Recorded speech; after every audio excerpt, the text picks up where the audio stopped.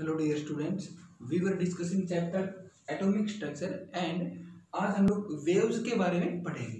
बेटा, सबसे पहली बात वेव्स क्या होती है? It is a method of transfer of energy without transfer of matter कि मैटर को ट्रांसफ़र किए बिना एनर्जी को ट्रांसफ़र करने की जो फॉर्म होती है, उसको हम क्या बोलते हैं बेटा? वेव बोलते हैं। तो हम बोल सकता हूँ it is form of transfer transfer of energy energy without transfer of without transfer of matter matter को ट्रांसफ़र किए बिना एनर्जी को ट्रांसफ़र करने की फॉर्म को क्या बोलेंगे वेव बोलेंगे बेटा आप लोगों ने वेव देखा होगा, देखो, मान लेता हूँ, यहाँ से ये जो सोर्स है, जहाँ से वेव मेरी जनरेट हो रही है, और this is the direction of propagation of wave इस डायरेक्शन में वेव आगे बढ़ रही है। तो बेटा वेव के अंदर पहले एक हाइट पे जाएगा, फिर इस तरीके से वेव आगे प्रोपोगेट करती है। ये जो मैक्सिमम हाइट वाला पॉइंट होता है बेटा, इसको क्या बोलते हैं? क्रेस्ट और जो सबसे मिनिमम हाइट वाला पॉइंट होता है, सबसे लोवेस्ट पॉइंट वेव के ऊपर, इसको बोलेंगे ट्रफ तो बेटा ये एक वेव है।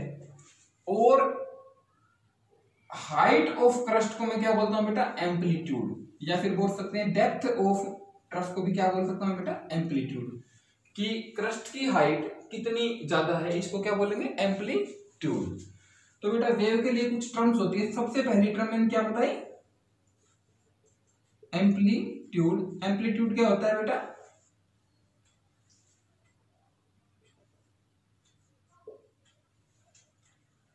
Height of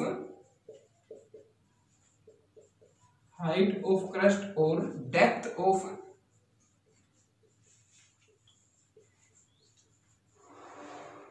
ट्रम बेटा, इसके बाद सेकंड टर्म जो होती है, वो होती है वेव लेंथ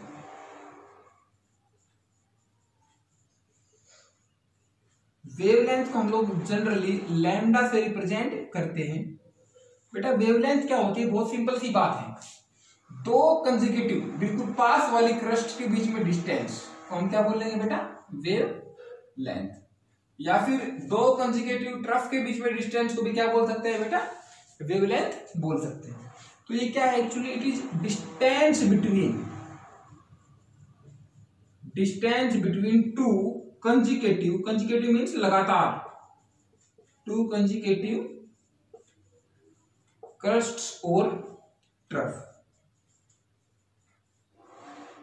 इस डिस्टेंस को क्या बोलेंगे बेटा? वेवलेंथ देखो, जब भी वेव एक वेवलेंथ जितनी डिस्टेंस ट्रेवल कर ले मतलब यहाँ से स्टार्ट हो और घूम के वापस इसी हाइट पे आ जाए तो मैं बोलूँगा कि एक ओसिलेशन हो गया। एक क्या हो गया बेटा? ओसिलेशन हो गया कि वेव एक कंप्लीट हो गई। या फिर वेव यहाँ से स्टार्ट हो ज़ीरो से और दोबारा से ज़ीरो वाले पॉइंट पर ही आ जाए, यहीं पे आ जाए। तो ये भी एक वेवलेंथ हो गई।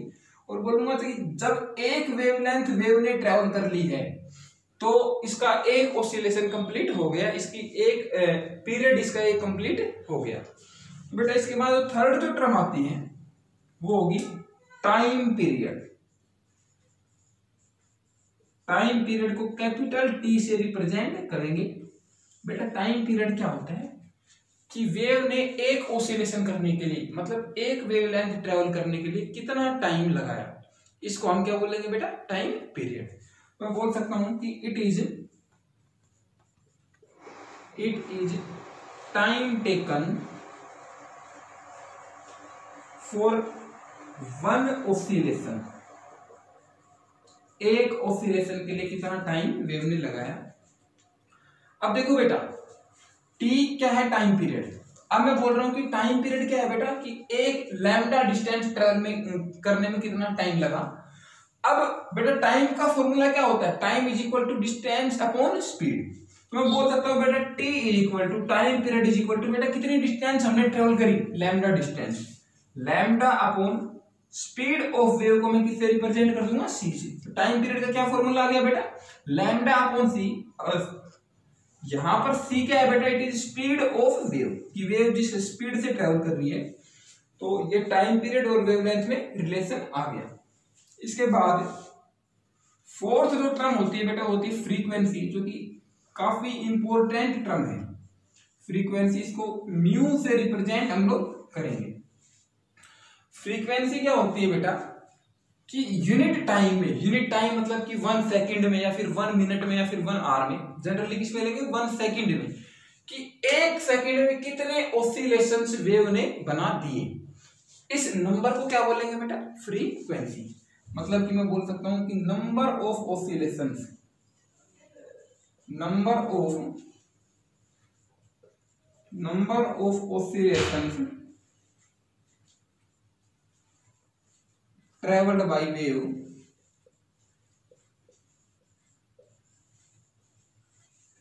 in unit time कि एक सेकंड के अंदर वेव ने कितने ऑसिलेशन कंप्लीट कर दिए। अब देखो बेटा, टाइम पीरियड क्या होता है? टाइम पीरियड होता है कि कितना टाइम लगा एक ऑसिलेशन कंप्लीट करने के लिए। तो मैं बोल सकता हूँ बेटा कि oscillations in T time T यहाँ पे क्या है बेटा? टाइम पीरियड टी टाइम में कितने ऑसिलेशन कंप्लीट हुए बेटा? एक oscillation it will be equal to one और हमें कितने, क्या निकालना है बेटा कि number of oscillation in unit time तो मैं बोल सकता हूँ बेटा कि oscillation in one unit time या फिर unit time it will be equal to one upon T और बेटा by definition oscillation in unit time इसी चीज़ को मैं क्या बोलता हूँ? फ्रीक्वेंसी तो मैं बोल सकता हूँ frequency is equal to one upon T this implies बेटा टी की वैल्यू यहाँ से पुट करूँगा लैम्डा अपॉन सी तो इसका मतलब क्या आ जाएगा? Mu is equal to C upon lambda C is the speed of light and lambda is the wavelength of the wave बेटा next is wave number wave number को हम लोग म्यू बार से रिप्रेजेंट करते हैं। बेटा, वेव नंबर क्या होता है कि यूनिट लेंथ में, वन यूनिट लेंथ मतलब वन मीटर में, या कभी कभी बोलेंगे वन सेंटीमीटर में। जनरली किसमें बोलेंगे बेटा? वन मीटर में। कि यूनिट लेंथ में कितनी वेव लेंथ आई, इसको हम क्या बोलेंगे बेटा? Wave number. या फिर कितने ऑसिलेशन कंप्लीट हो गए। तो मैं बोल सकता हूँ कि number of oscillation number of oscillation in unit length बेटा इस बार क्या है? यूनिट लेंथ हम लोगों ने ली है। इसको बोलेंगे वेव नंबर अब ये बताओ बेटा कि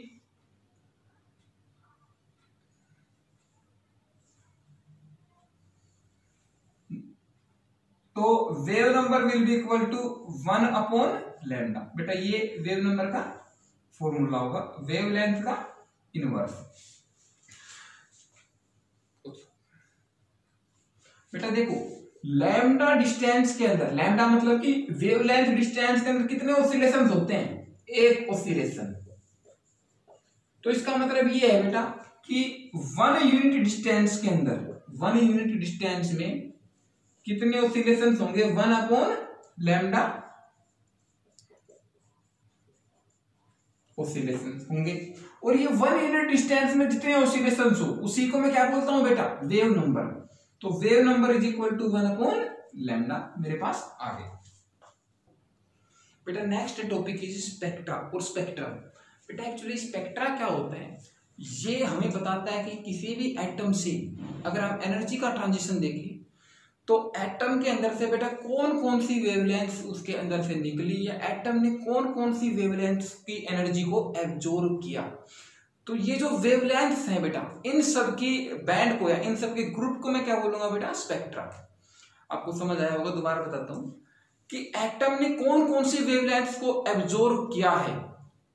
या फिर कौन कौन सी एनर्जी की रेडिएशन को कौन कौन सी वेवलेंथ को एटम ने एमिट किया है अपने अंदर से? तो उन सब के कलेक्शन को मैं क्या बोलता हूँ बेटा? स्पेक्ट्रा बोलता हूँ। दो टाइप के स्पेक्ट्रम होते हैं बेटा। फ़र्स्ट इज़ एमिशन स्पेक्ट्रम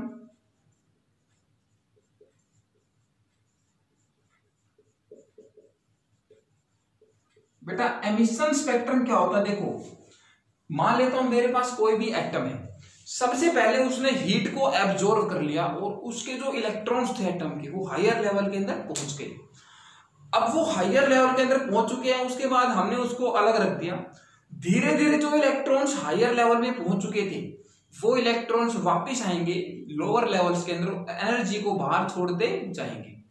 और जिस एनर्जी की वेवलेंथ को उन्होंने बाहर छोड़ा एमिट किया तो हम उस स्पेक्ट्रम को बोलेंगे एमिशन स्पेक्ट्रम पहले एटम एनर्जी को एब्जॉर्ब करेगा और फिर धीरे धीरे एटम के जो इलेक्ट्रॉन्स है वो लोअर एनर्जीज में आएँगे और साथ साथ में डिफरेंट वेवलेंथ की रेडिएशंस को एमिट करेंगे और इस स्पेक्ट्रम को, उन वेवलेंथ का जो स्पेक्ट्रम बनेगा, जो ग्रुप बनेगा, उनको हम क्या बोलेंगे? एमिशन स्पेक्ट्रम मान लेता हूँ जैसे मेरे पास ये एटम है, ये एटम का न्यूक्लियस और ये डिफरेंट एटम के क्या है बेटा? लेवल्स हैं एनर्जी लेवल्स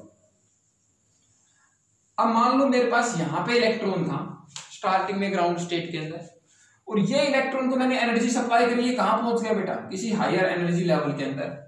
और जब एटम इस हायर एनर्जी लेवल से इससे नीचे वाले में आएगा तो कुछ एनर्जी बाहर छोड़ देगा। इस वेवलेंथ को हम नोट कर लेंगे। फिर उसके बाद और लोअर में आएगा तो फिर से कुछ एनर्जी को छोड़ देगा। तो ये जो वेव ये जो डिफरेंट वेवलेंथ की रेडिएशन एमिट हुई एमिट मतलब कि बाहर निकली एटम से। इसको हम क्या बोलेंगे? एमिशन स्पेक्ट्रा बेटा, पहला स्पेक्ट्रा क्या होता है? एटम एब्जॉर्ब्स एनर्जी और takes energy takes heat energy and जो एटम के अंदर इलेक्ट्रॉन्स होते हैं electrons goes to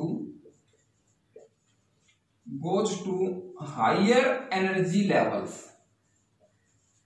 energy level और इलेक्ट्रॉन्स हायर एनर्जी लेवल्स में चले गए। उसके बाद जब वो वापस नीचे आएँगे ग्राउंड स्टेट में तो जब वापस नीचे आएँगे ग्राउंड स्टेट के अंदर तो डिफरेंट वेवलेंथ की एनर्जी को एमिट करेंगे। और इसी स्पेक्ट्रम को क्या बोलूँगा? एमिशन स्पेक्ट्रम सो मैं बोल सकता हूँ on coming back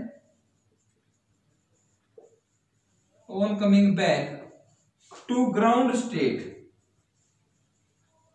on coming back to ground state they emit emit radiations of different wavelengths radiations of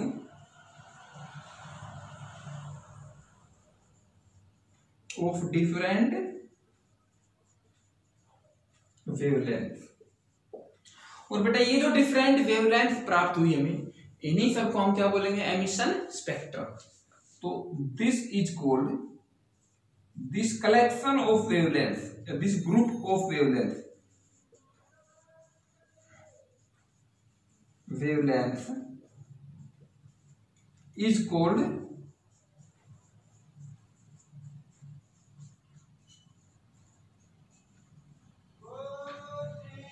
emission बेटा second type of spectrum is absorption spectrum बेटा एब्जॉर्प्शन स्पेक्ट्रम क्या होता है? कि एटम के अंदर जो इलेक्ट्रॉन होता है, वो लोअर लेवल के अंदर होगा। हमने इसको कुछ वेवलेंथ की रेडिएशन इसके ऊपर पड़ी तो बेटा वेवलेंथ की रेडिएशन इसके ऊपर पड़ी तो ये कहाँ चला जाएगा? इसको एनर्जी मिल गई हायर लेवल में जाएगा। कब जाएगा? जब इसने एनर्जी ले ली एक्सेप्ट कर ली। और फिर दोबारा से इसके ऊपर कोई रेडिएशन पड़ी लैम्डा टू वेवलेंथ की तो ये कहाँ चला जाएगा बेटा? और हायर लेवल में। तो इस बार ये एनर्जी को एब्जॉर्ब कर रहा है बेटा। लोअर से हायर लेवल में जाते टाइम तो इस स्पेक्ट्रा को मैं क्या बोल लूँगा? एब्जॉर्प्शन स्पेक्ट्रा जब ये एनर्जी रेडिएशन को एमिट करेगा तो क्या बोलूँगा एमिशन स्पेक्ट्रा तो मैं बोल सकता हूँ electrons jump from lower level of energy to higher level lower level of energy to higher level and absorbs wave and absorbs radiations of radiation of different wavelengths different wavelength बेटा, इस spectrum को क्या बोलेंगे? Absorption spectrum अब generally देखो बेटा emission और absorption spectrum में से किसको हम जनरली प्रीफर करते हैं? किसको पढ़ना आसान होता है बेटा? एमिशन स्पेक्ट्रम को पढ़ना आसान होता है। क्यों आसान होता है बेटा?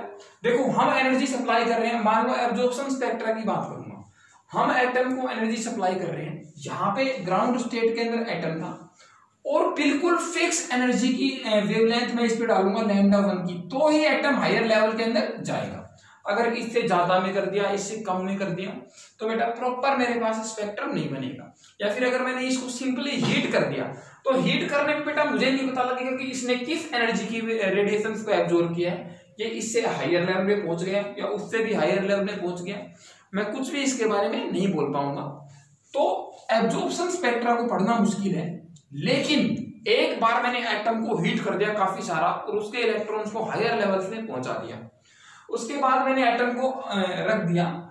तो बेटा बिल्कुल फिक्स है कि एटम सबसे पहले जो एटम के अंदर इलेक्ट्रॉन्स हैं, वो हायर से उससे लोअर में आएँगे और उससे लोअर से उससे नेक्स्ट लेवल में और फिर इस तरीके से करते करते अपनी ग्राउंड स्टेट में पहुँच जाएँगे इलेक्ट्रॉन्स तो बेटा मेरे पास एक प्रॉपर स्पेक्ट्रम बन के आएगा, जिसको मैं क्या बोलूँगा? एमिशन स्पेक्ट्रम तो उसको पढ़ना इजी है as compare to absorption spectrum तो इसीलिए एमिशन स्पेक्ट्रम को हम लोग प्रीफर करते हैं। बेटा नेक्स्ट एक टर्म है इलेक्ट्रोमैग्नेटिक स्पेक्ट्रम तो सबसे पहले ये देख लेते हैं कि बेटा इलेक्ट्रोमैग्नेटिक वेव्स क्या होती है। बेटा, ऐसी वेव्स जिनके साथ इलेक्ट्रिक फ़ील्ड और मैग्नेटिक फ़ील्ड जिसके साथ प्रोपोगेट करें, उन वेव्स को हम क्या बोलेंगे? इलेक्ट्रोमैग्नेटिक वेव्स तो मैं बोल सकता हूँ कि waves which travels with which travels with electric field field and magnetic field and magnetic field along with it इसके साथ इलेक्ट्रिक फ़ील्ड और मैग्नेटिक फ़ील्ड भी ट्रेवल कर रहे हैं। अलोंग विद इट तो ऐसी वेव्स को मैं क्या बोलूँगा? इलेक्ट्रोमैग्नेटिक वेव्स और बेटा, ये इलेक्ट्रिक फ़ील्ड और मैग्नेटिक फ़ील्ड किस तरीके से ट्रेवल कर सकते हैं, करते हैं इस वेव के साथ? जिस डायरेक्शन के अंदर मेरी वेव ट्रेवल कर रही है प्रोपोगेट कर रही है, आगे की तरफ़ बढ़ रही है, उस डायरेक्शन से परपेंडिकुलर दोनों ही ये इलेक्ट्रिक फ़ील्ड और मैग्नेटिक फ़ील्ड ट्रेवल करेंगे। इलेक्ट्रिक फ़ील्ड देखो and perpendicular to perpendicular to to direction of propagation direction of propagation of wave and also and also perpendicular to each other मैं क्या कहना चाह रहा हूँ बेटा कि मान लो मेरी वेव जो है वो इस डायरेक्शन में ये जो एक्स एक्सिस है, इस डायरेक्शन में क्या कर रही है बेटा? प्रोपोगेट कर रही है। वेव। यहाँ से स्टार्ट हुई है। और बेटा जो इसके साथ में क्या बोल रहा हूँ कि इलेक्ट्रिक फ़ील्ड और मैग्नेटिक फ़ील्ड भी ट्रेवल करेंगे। तो बेटा इलेक्ट्रिक फ़ील्ड की जो वेव्स बनेगी, वो कैसे बनेगी? वाई एक्सिस के अंदर।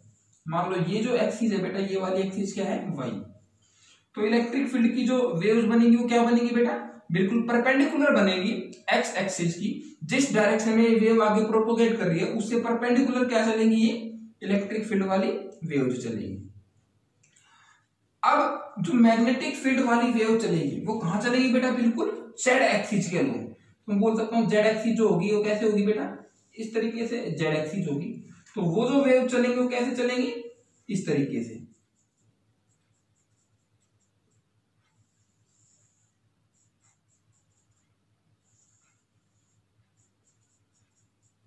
मतलब इलेक्ट्रिक फ़ील्ड और मैग्नेटिक फ़ील्ड इस वेव की डायरेक्शन की वेव की प्रोपोगेशन की डायरेक्शन से परपेंडिकुलर होंगे।